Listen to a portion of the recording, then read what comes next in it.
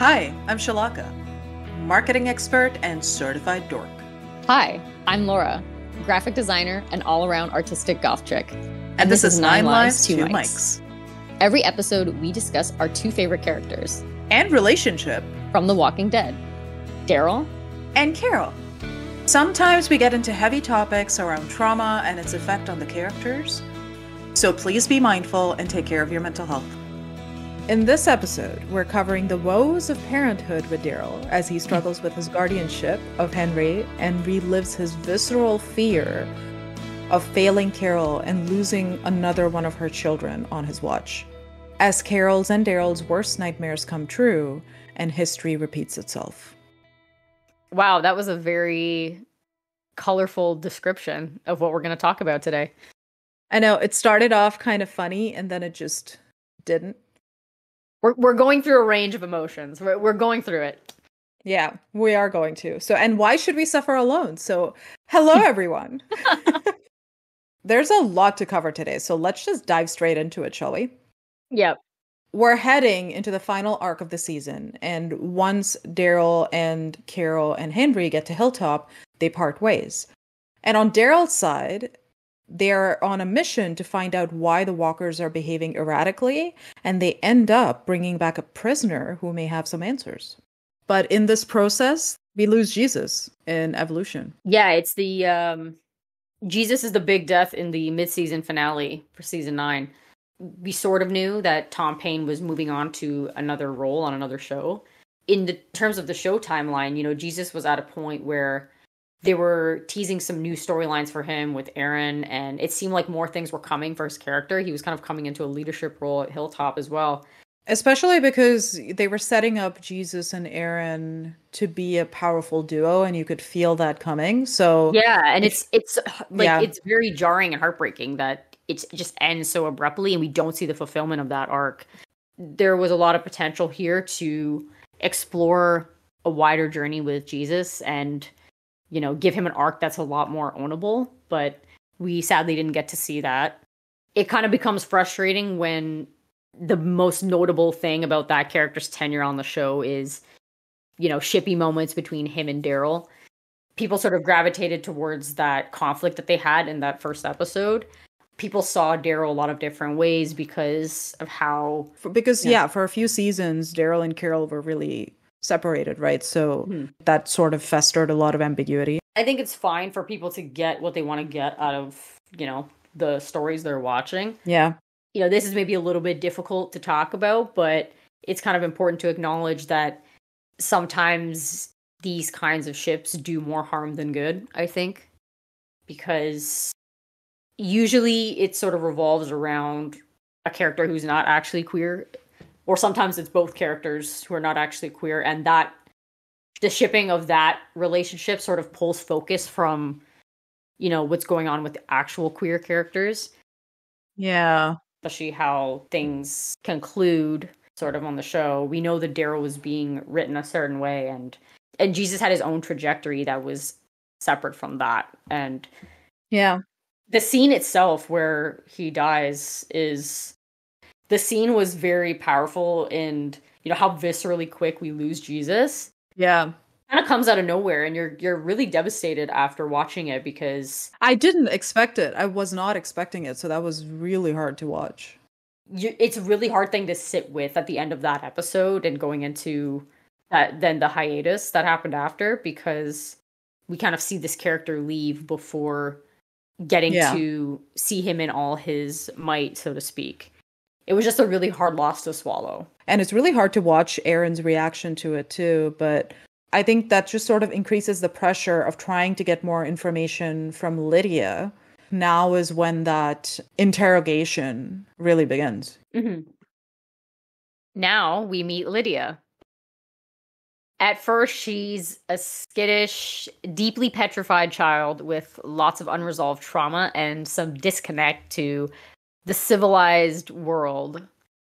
Daryl and Henry quickly learn a lot about her, and this is where we see a hint of Daryl's parental instincts begin to kick in. I think previously, a lot of the children that were kind of came under his care were due to slightly different circumstances, but this kind of feels like the first time he's kind of taking it upon himself to be a certain figure for Lydia in the situation. Yeah. I think in this instance it's quite the opposite, right? They're not necessarily looking for a guardian to take care of her. They literally need answers from this kid. But because she is immediately put into an us versus them situation, I think Daryl, even though he really wants to get some answers, also inadvertently connects with her because he's been on the other side of this before. Yeah, he's beginning to show that kind of parental instinct, or at least some sense of guardianship over Lydia as he learns more about her. He doesn't think he has that capacity, but it's there. Yeah. And he feels a connection to this kid ultimately because it becomes very quickly apparent she grew up with an abusive mother and he empathizes with her so deeply on that front. Yeah, I think he starts to see his own reflection, right? And Cassady McClincy did a phenomenal job. I loved Lydia so much. And I think as she's telling the story, he's able to call it out immediately as someone who did have a father who beat him. He immediately realizes that the story doesn't add up I think that's the first instance where, you know, her true story starts to reveal itself.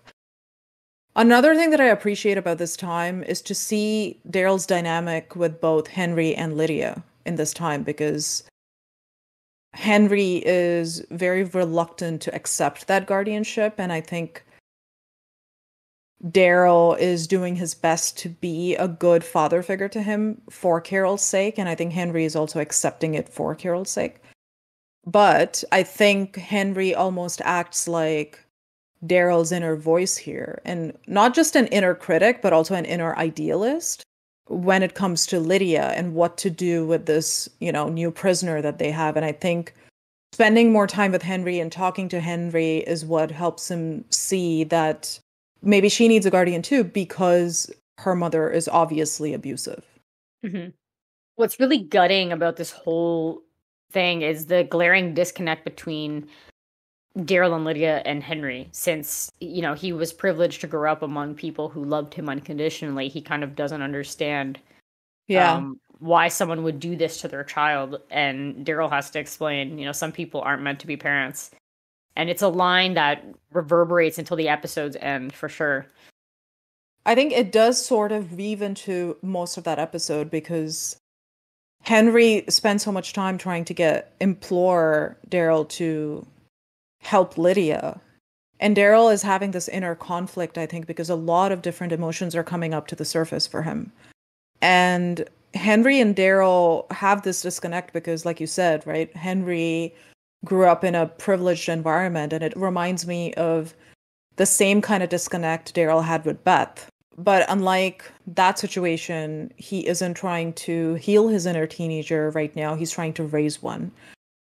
Henry talking about why his mother grew out her hair and why she feels safe now at the kingdom also brings up a lot of different emotions for Daryl because the way he hears it is that she wasn't safe when she was with me, but she is safe with Ezekiel at the kingdom now.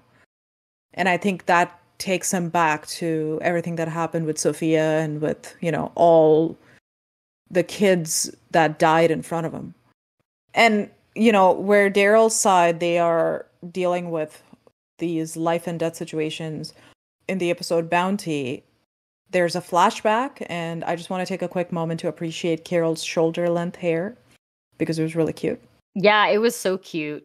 I don't think I liked it as much as the longer hair, particularly the the wig that she has in season 10. I think that was kind of the best look out of all the longer styles, but but the, the shorter style was cute and it did give us a sense of, you know, that time passage and we could tell exactly when this scene took place because of how long her hair was. It gave us some more really good kingdom exposition. That's for sure. Yeah. In this episode, we're following the kingdom on their own little mission to retrieve a projector bulb from an abandoned theater. They're all abandoned in this apocalypse, obviously. wow, Laura. and yeah, we kind of get to see the kingdom at all its ferocity. I feel like everything about them kind of comes to a head in this episode, and we get a sense of you know how they work as a team and their their ideology and and trying to find the magic. Yeah, trying to find the magic, and even in the mm-hmm. apocalypse mm-hmm. is basically the gist of this, right?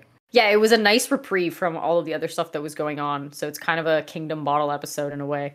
They're having a little bit of fun while Daryl's kind of dealing with these children. It's interesting to me because even as they're thinking about going to find this bulb, you know, Ezekiel is not trying to tell Carol what he's planning on doing because he knows she's not going to approve. And when she finds out, Carol might as well have looked at the camera like she was on The Office because she just looks so done. But then she ends up helping them anyway because she gets that the point of the kingdom is trying to find the magic and the mundane and this darkness. Mm-hmm. But you can tell, though, that there's tension there and that things are not as happy and warm as they seem because things are falling apart. And she is trying really hard to meet Ezekiel halfway to keep his dream alive. And while this is happening, you know, I feel like in video game terms, Daryl is fighting a boss battle in Dark Souls and Carol is just at the fair in Stardew Valley. you know, we cut back to Hilltop where Alpha shows up and Daryl is immediately pissed. Something snaps inside Daryl here when he gives Lydia back to Alpha begrudgingly um, in the trade. And the first thing she does is slap her across the face, like the second she's within arm's reach. And I feel like you can just feel something trigger deep within Daryl where he yeah. tells her just on a look, you know, you're dead meat, lady. It's a really yeah. powerful scene, even with like no dialogue between them. We don't even see Daryl's reaction as the slap happens, but you just know what he's feeling. That's exactly it. Because when I first watched this, I had this m- memory in my head of Daryl seeing the reaction to the slap. And then I remember when I watched it the second time after that, I was like, oh, they don't that scene doesn't actually exist. I just made it up in my head. But you can just it's something about this shot that we do get of Daryl and you know Norman's expression there. It just makes you feel like you're feeling everything Daryl's feeling in a completely yeah. different way. I can't really explain it, but no, I I know what you mean because we get a I mean, not to jump too far ahead, we get a similar scene in season 10, which we'll talk about when we get there, but mm-hmm there are instances where we get to see Daryl's reaction right after something's happened, but it feels like you could see it that whole time.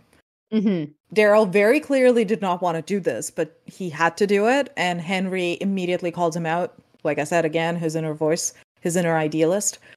And Henry goes after Lydia, and Daryl again has to face this very visceral fear of losing Carol's child and the next few episodes are just his struggle to keep Henry safe and bring him home to Carol. But now he's also invested in Lydia's future. And you know that Daryl will not let anything happen to Carol's kid on his watch, not another time. And you can sense that with the number of times he brings up her name throughout these episodes and how far he goes to just protect these kids, you know? Mm-hmm. It's just so Daryl, I think as you mentioned, Daryl goes to look for Henry, who left to go after Lydia, and Connie joins him on this search. When their group is reunited and they're sort of trying to make their way back, they have a showdown with Beta when they're holding up in uh, a pre-con condo building, which was an interesting setting for that fight. And uh, Daryl drops Beta down an elevator shaft, but he somehow survives. Ryan Hurst, ladies and gentlemen. And Eventually, they make it back to the kingdom in time for the big fair, which brings us to the calm before. The rest of the communities are already putting together a search party to find Daryl, Henry, Connie, and Lydia, which Carol is unsurprisingly very quick to join.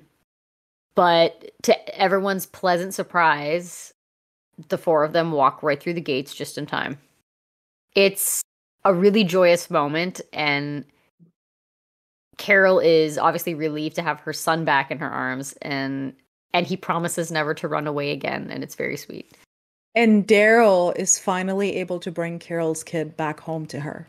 It's just very very sweet. And I think he is able to see that happiness and relief on her face when she hugs Henry. And honestly, for a moment, when I watched this for the first time, it felt like that night when he went out to look for Sophia with Andrea.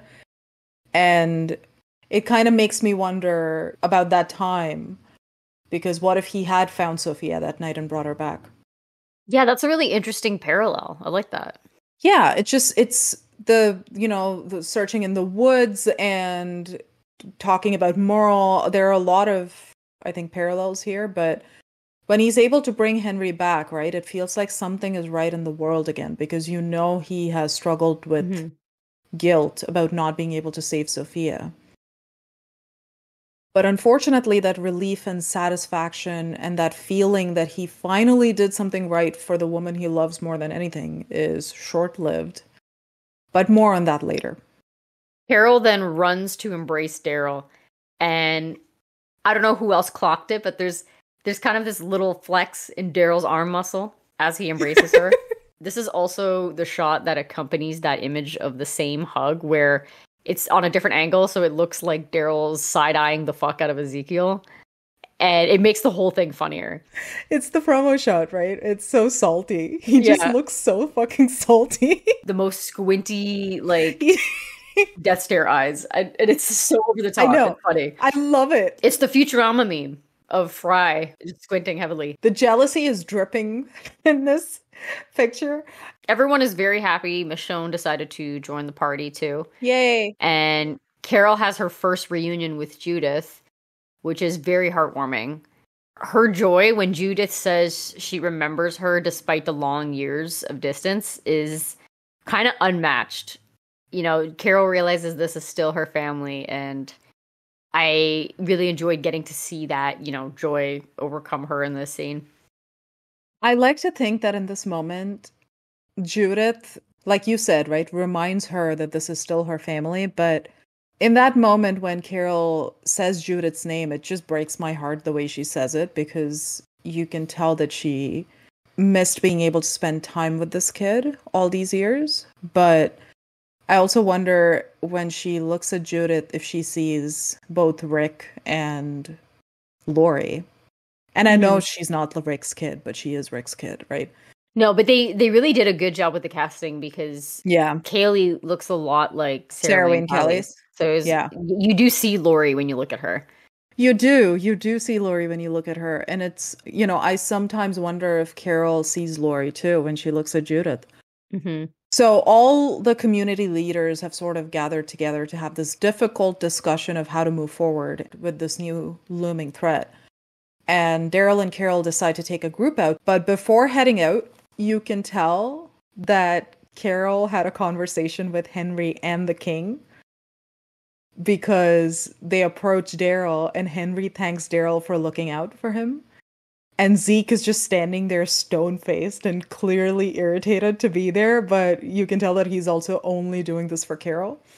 And he offers Daryl a place at the kingdom, while Carol looks at Daryl expectantly and hopes that he would say yes. And just by looking at Daryl's face, you can see that probably the thought of staying here at the kin- kingdom is as painful to him as it is to Ezekiel. Yeah, it's a really interesting dichotomy between the two of them because I don't think either of them is thrilled by that idea, but they would both, you know, compromise for Carol, right? And even though it would be uncomfortable, I think for either of them, they would yeah. they would put that aside just to make her happy. Yeah, I think so. And as they're heading out, right? One of the things that always jumps out at me is Daryl's interaction with Henry.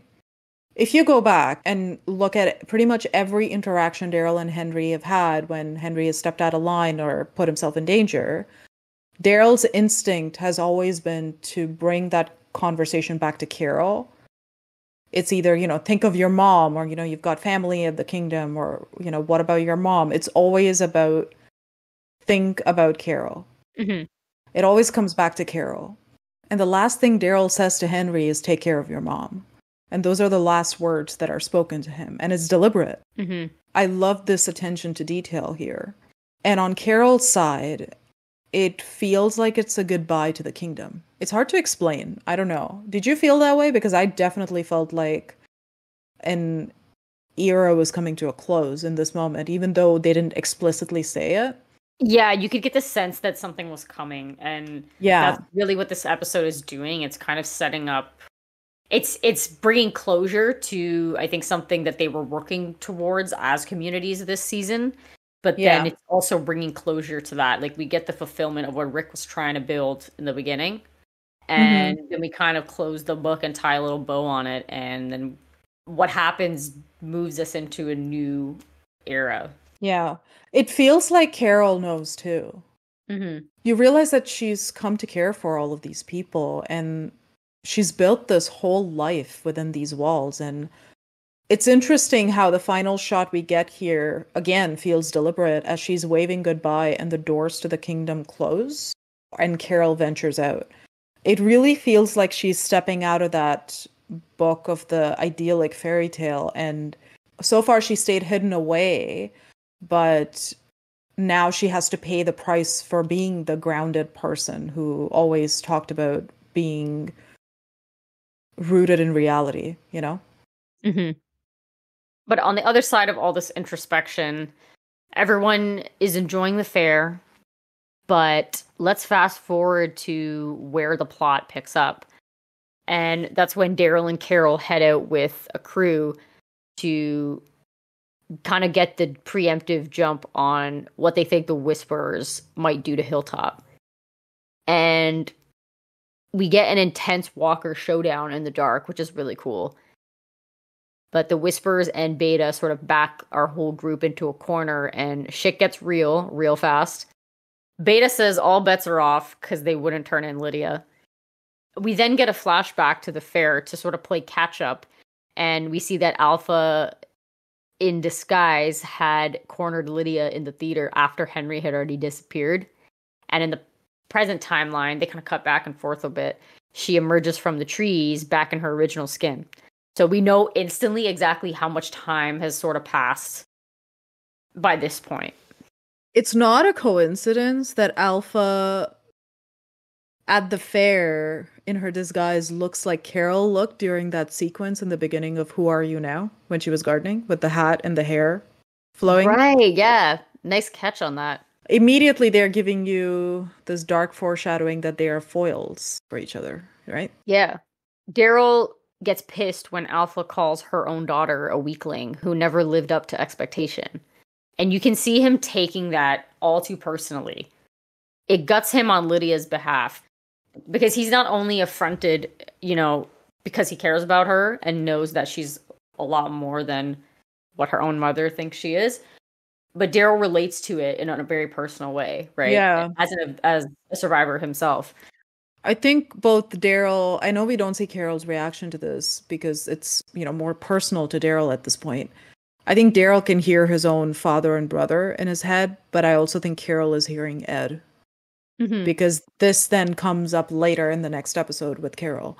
I think with the the whole storyline with Alpha was just very personal to both Daryl and Carol because she represented the abuser, right? Mm-hmm.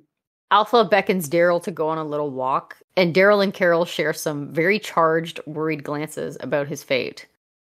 It is very charged, yeah. And I feel like it's a silent conversation. With them, it usually is. It feels like she's saying, I can't lose you. And he is saying, It's all right, but if I die, yours is the last face I want to see. And I just, I love it. I love it. Alpha takes him to where she can reveal her secret weapon, which is actually terrifying. It's the biggest horde we've seen on the show to date.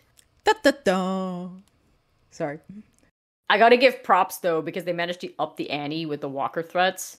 Because at this point, you know, you would kind of not be able to conceive like how many more walkers could they possibly deal with, right? And then you just see that expanse that and you're experiencing it at the same point that Daryl is and just kind of taking it all in and how far back it goes and you're just like damn yeah and it scared me again and this is this is also walkers this woman can control. It's not just walkers that you can set fire exactly. to because she can manipulate them to her whim, which is horrifying. She gives very clear demands she's not feeling their worldview and she believes they are going to be at odds no matter what. So she sets clear land borders. They're not to cross Whisper lands again, or Alpha will send the Horde to overrun their communities. She tells him that she's marked the border to the north and promises they'll see it as they leave, which sounds very ominous. It's foreshadowing, and I don't think you realize just how she's marked the borders until you get there. But if you read the comics, you do. But okay. I want to know what that was like for anybody who wasn't aware of the Pike scene, what they thought when she said that. Yeah, I I think just seeing this horde, you know she's going to be a formidable foe going forward because she has somehow managed to stay a few steps ahead this whole time. Mm-hmm. Yeah, to add to what you said, um, I was watching it for the first time, and although I was kind of aware of what was going to happen, and I knew that Carol was going to lose a child, I wasn't really um, aware of the details of that scene. And I definitely did not anticipate the depth of horror that was awaiting us. And obviously, we'll talk about Henry's death in depth I wanted to take a moment here and just talk a bit about the shock of losing everyone that we lost here in this episode. It it it was a lot of deaths. Yeah. There's very rare instances where we're losing that many, you know, notable characters all at once like that and in such a, you know, very ritualistic way. That's yeah. definitely sends a chill down your spine. So it's it's a lot to digest on that note, actually, I want to ask you, Laura, because I know you're familiar with the comics. What did you think about the changes that were made here to maintain that shock value? Because I know that the deaths in the comics were different. That's a really good question. This was one of the most iconic death reveals of the comics, too. And I will say I love the way it was handled in the show because I, in that moment, I didn't, you know, I was thinking we would see the same faces or at least that the main ones but but I hadn't thought too far ahead of you know who was it going to be. A- Angela Kang, with the way this you know episode was constructed, sort of teased the major deaths we were expecting with those intercut scenes as they were doing the slow reveal. So if you didn't know, in the comics, the big deaths that happen uh, here are Rosita and Ezekiel, but in actuality, Tara and Henry took their place respectively. And we also get the addition of of Enid being thrown in there too, which was also kind of a shock. Yeah, I feel like we didn't have enough time to grieve Tara with everything that was going on, you know? Because it was very unexpected. Yeah. Um, it was you know, purely a shock value death in that moment because they needed to stack up a few big faces to make this hold the same weight that it did in the comics. It's kind of like the Negan kill like it's parallel to that in terms of big death reveals.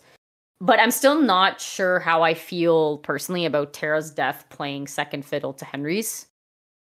Especially since he was, you know, aside from servicing Carol's story, sort of the Carl replacement this season. And obviously, you know, as any fan would, I wanted to see Carl assuming his own storylines from the comics but that being said, absolutely no hate to Matt Lintz. I think he did a fantastic job, and it was great to have Madison's brother playing the role of Carol's second child. I thought that was really cool.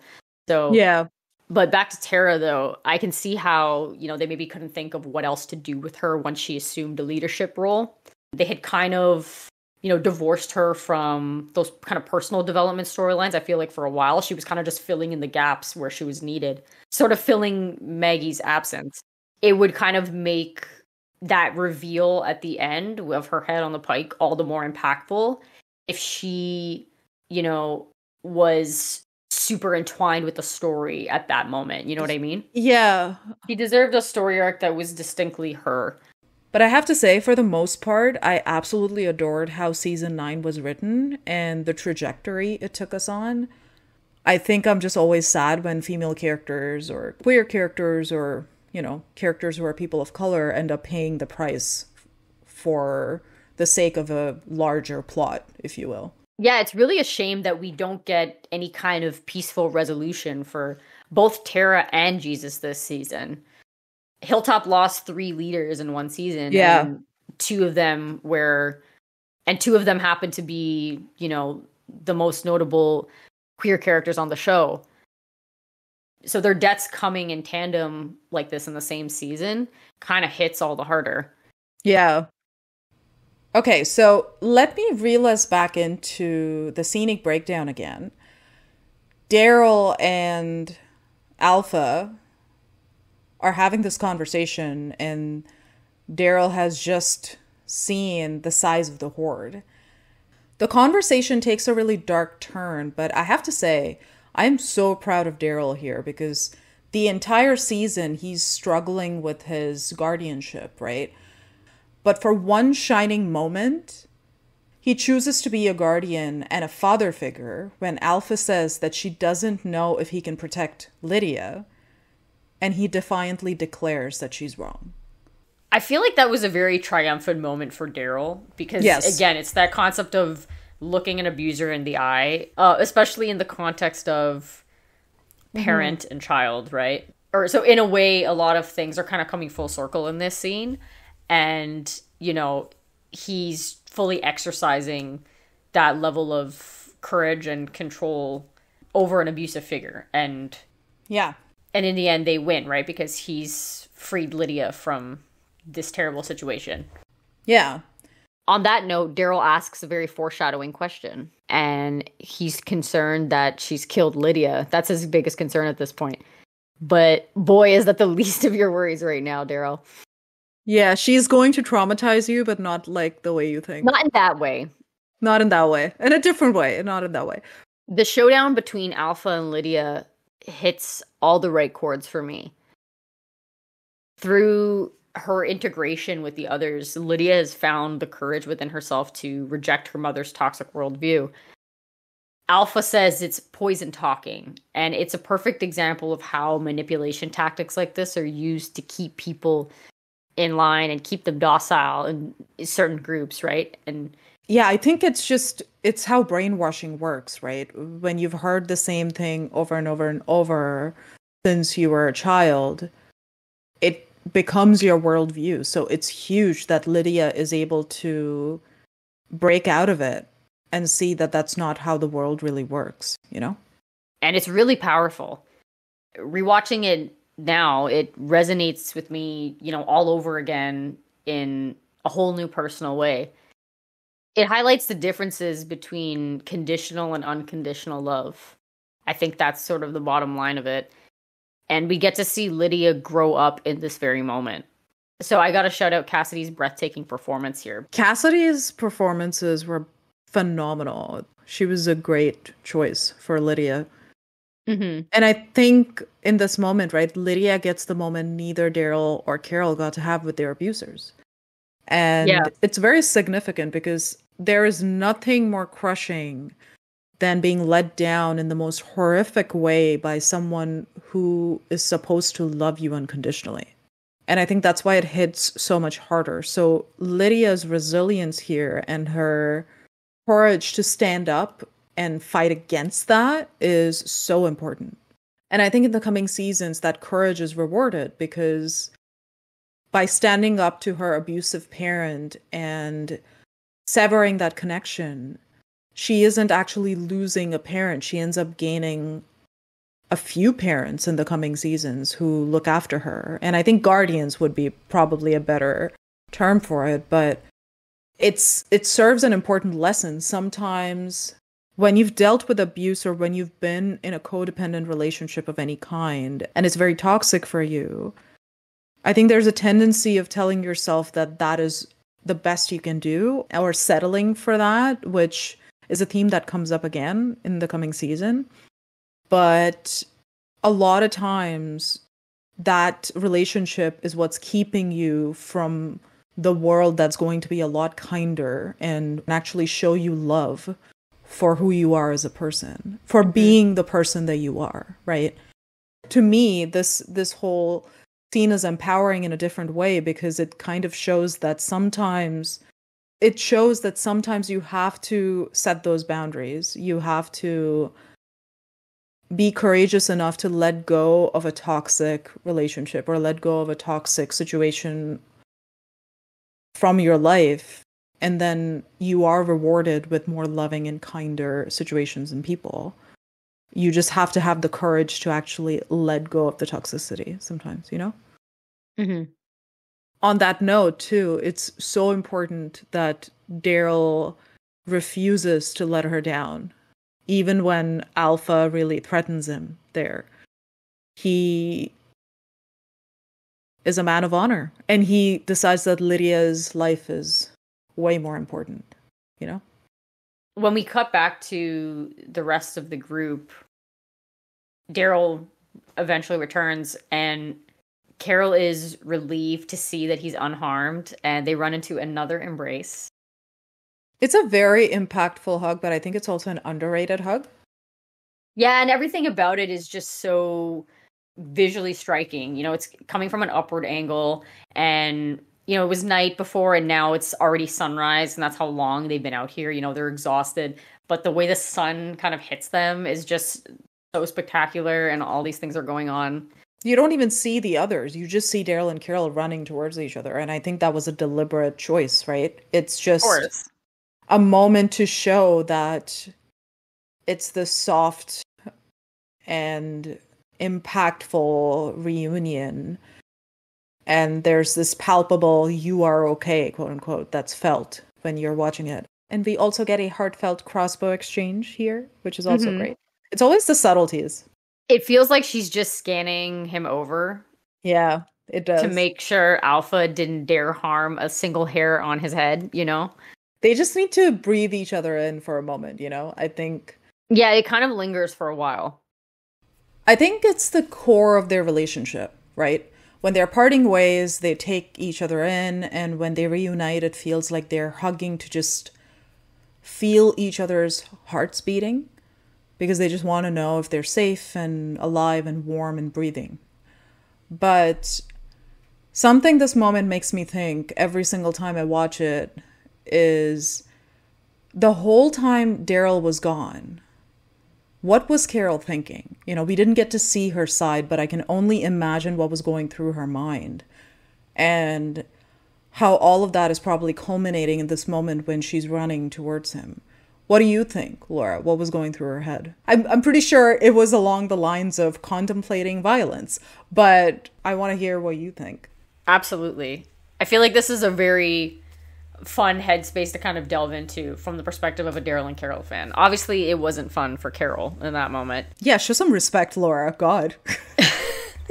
they were being constantly surveilled, right? Like the rest of the beta and the rest of the whispers were there sort of containing them. So they were kind of in this position where they couldn't do anything. Obviously, if they could, I mean, Carol would have definitely gone after them and just followed, right?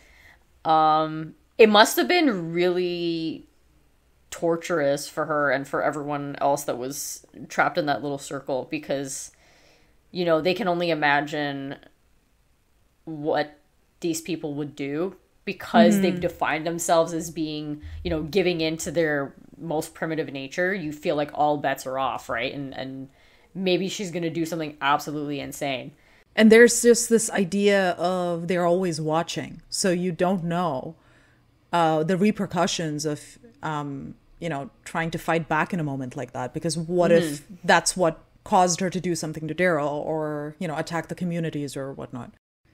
I can imagine, though, that Carol was definitely running through all the scenarios in her head and, you know, just imagining what she was going to do once they come back. Yeah. What do you think her headspace was like? I like to think that one, there were sirens in her head the whole time, right? But knowing Carol, I think she already had 15 plans in her head. Oh, of course. They didn't have enough information about the Whisperers to gauge the threat accurately at this point. It was still pretty new for all of them, especially because they thought they were, you know, being preemptive about this, and then the, Whis- the Whisperers still found them. So, yeah, I think she was just being cautious because nothing can happen to Pookie on her watch. I also wanted to touch on something here and say that Carol was detached from Daryl Henry and Lydia storyline for a long time, right? But when I rewatch this, and saw Henry and Lydia's blooming love story, it just really made me think about the parallels between them and Daryl and Carol, which I touched on earlier and we'll touch more on in season 10. But Henry's defiance to protect Lydia is so much like Daryl's defiance to protect Carol throughout the show. And Lydia's demeanor in the early days really reminds me of Carol from the early seasons when she was wounded but strong. And I think at the root of Henry and Lydia's blooming relationship is courage the courage to defy, to stand up for what's right, and the courage to embrace the happiness and love that's coming their way, knowing fully well that they'll have to fight for it and fight for their future. To me, Daryl's need to preserve both Henry and Lydia during this time is not only his intention to do right by Carol, but it's also symbolic because it gives Daryl hope just like the Cherokee Rose gives him hope in season two.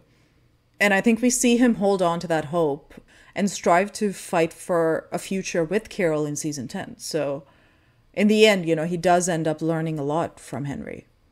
It's just not the way he expects it to, you know? I think that's a really good way of looking at it. And again, it kind of connects, you know, where Daryl and Carol are going into these final few seasons to where they started, right?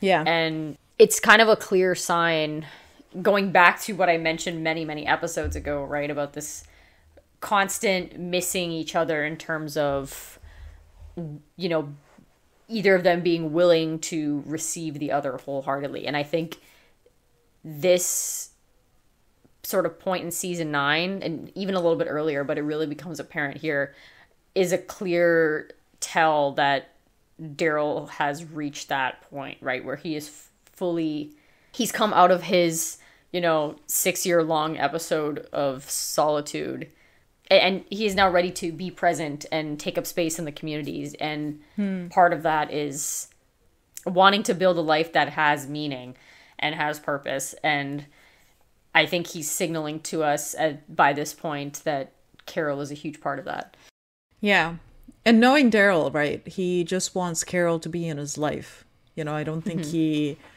is at this point anyway in season 9 when she's still very deeply attached to the kingdom. We get the sense that Daryl is now considering staying there even if it's painful to him because ultimately he really wants her nearby. And he's also gotten attached to Henry now because he feels more um, invested in this kid's future and also Lydia's future. So there are a lot of things he's pondering in these final episodes I think. And season 10, though, beckons that new era where he realizes that the timing is now right for him and Carol. But, mm-hmm. you know, mm-hmm. more on that later. Oh man, I think our listeners are going to hate me for saying this, but and we're out of time. There's a lot that we still have to discuss with the Pikes and everything beyond, but we have to end our discussion here today and pick up with the Pike scene in the next episode. I know, I know, we promised not to end on a cliffhanger, but you know, such is life. Laura, save me. yeah, we'll see you guys next week. Bye. Sorry. Bye. Sorry.